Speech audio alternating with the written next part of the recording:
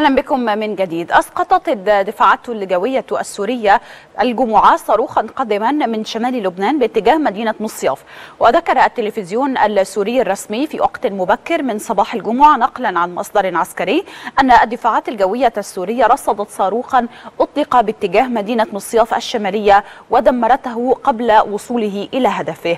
انضم إلينا الآن من دمشق أستاذ غسان يوسف الكاتب الصحفي. أستاذ غسان بعد التحية. إذا هناك أيضا يعني مجهودات للجيش السوري الدفاعات الجوية السورية تسقط هذا الصاروخ وربما هناك أيضا مجهودات في مسألة التقدم في قرى. كان بالأمس كان هناك تقدم في قرى في للتقدم أو للوصول إلى خان شيخون. يعني ماذا عن هذه الجهود بشكل عام من الجيش السوري للتقدم على أو التقدم في مناطق وقرى للسيطرة عليها طبعا وأخذها من الإرهابيين؟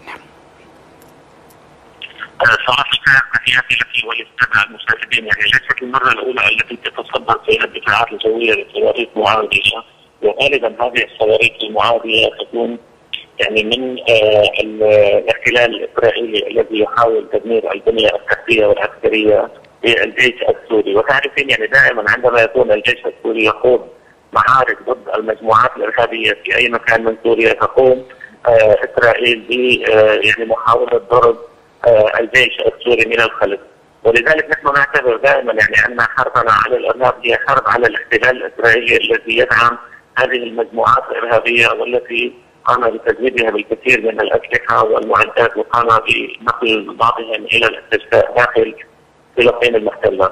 آه أمس يعني تسقط الدفاعات الجوية وهذا يؤكد يعني بأن الدفاعات الجوية جاهزة دائما للتصدي لأي اعتداء تفرغ في هذا الصاروخ واسقطته آه وكانت آه يعني قوات الجيش العربي السوري تخوض المعارك في إدلب وتتقدم في خان شيخون وتعرفين بأن خان شيخون هي معقل جبهة النصرة والحزب الإسلامي التركستاني وغيره من أجناس قوقاز والمجموعات الأجنبية. ولذلك يعني لاحظنا الاستنكار العالمي ضد الجيش العربي السوري الذي يخوض هذه المعارك الشرسة وتعرفين بأن هذه المجموعات مزودة بالصواريخ حتى مضادة الطيارات يعني أنهم استطاعوا إسقاط طائرة سورية وأيضا مزودين بمضادات الدبابات والدروع وصواريخ بعيده المدى. ولذلك أصبحت الحرب التي يخوضها الجيش العربي السوري هي حرب حقيقية في معنى الكلمة باعتبار أن هذه المجموعات الإرهابية مسلحة بأحدث انواع نعم. طيب ماذا أيضا عن هذه القوات أو هذه الميليشيات؟ يعني كما ذكرت حضرتك بأنه هناك مجهودات طبعا وحضرتك ذكرتها في سياق حديثك ولكن كان هناك أيضا أحداث أو أخبار عن يعني عمليات تقوم بها هذه الميليشيات أو هذه الجماعات الإرهابية أو المعارضة المسلحة في ضد الجيش السوري وضد مواقع وتمركزات للجيش السوري وتحديدا في إدلب. يعني لو حضرتك توضح لنا أيضا ما تقوم به هذه المجموعات.